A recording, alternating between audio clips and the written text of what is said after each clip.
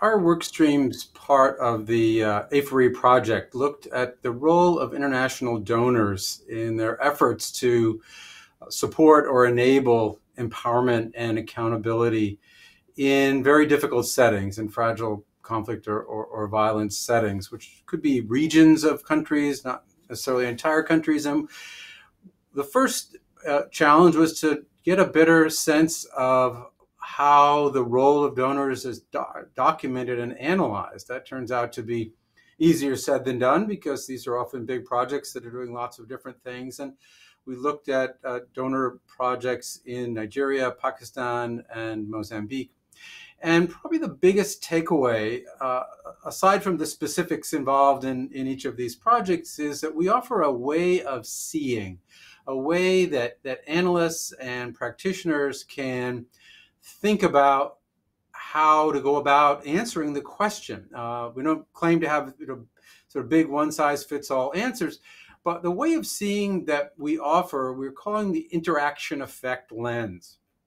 And interaction effects lets you look at how the different moving parts in a big project and the relationship between what goes on in one project and what's going on in the broader context that, that helps you understand how the different moving parts fit together and uh, this is a big issue because what often happens in large donor projects is there are mixed results. What does mixed results mean? It means that different things are going on at different times and places. There might be breakthroughs over here and bottlenecks over there. And how do you go about taking stock of uh, a project that's that's supporting citizen action and empowerment in some parts of what it's doing, but also ends up reinforcing the status quo and uh, and exclusionary institutions and practices in some other part of the same project. We found this in uh, some of the World Bank projects we looked at.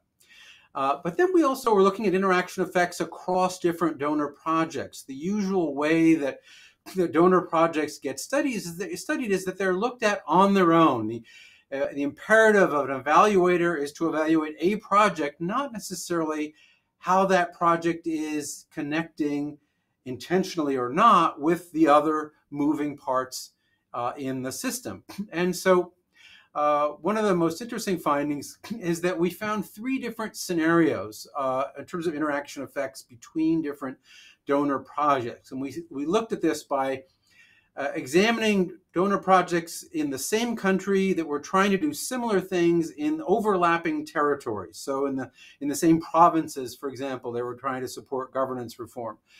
And these could be uh, two different projects from the same donor, as in the case of UK aid, or comparing World Bank projects and UK aid projects in the same states in Nigeria, for example. And we found three basic scenarios. The, the interaction effect lens produces three different scenarios. And these three different scenarios uh, are uh, synergy, parallel play, and disconnects so what's synergy? Synergy happens when two different aid programs that are overlapping in the shared issue area in the same territory, let's say a province, when they are mutually reinforcing. This is what one would hope to see. Uh, but many different different donors that are active in the same space often talk about harmonization or coordination, and that's fine on paper uh, uh, uh, at the project design stage, but we're looking at what was actually happening in practice. And that often involved kinds of synergy that may or may not have been planned, may or may not have been part of the original design. And then we found another scenario that we call parallel play, where the two overlapping donor programs were unfolding in the same issue space, in the same territory, but didn't connect with each other. They did not produce synergy. And this is really a kind of missed opportunity because in that in the scenario of parallel play, the whole is not greater than the sum of the parts. And then the third scenario that we found was disconnect. And disconnect were cases where there were interactions in the rollout and the implementation of aid programs, uh, possibly unintentionally, where the actions of one donor ended up undermining the actions of another. For example, there was one case, one one uh, state in Nigeria where one donor had been plugging away earnestly for a very long time, building up the capacity of civil society actors and government reformers to try to move uh, governance reform forward, to try to find partnerships and collaboration, a very a gradual, painstaking process. And then another donor comes in from the outside, from above, and creates a few benchmarks that try to incentivize some uh, quick, apparently quick reforms, changing in laws that have the the unintended outcome of undermining a lot of the long term, painstaking, much more context sensitive kind of work.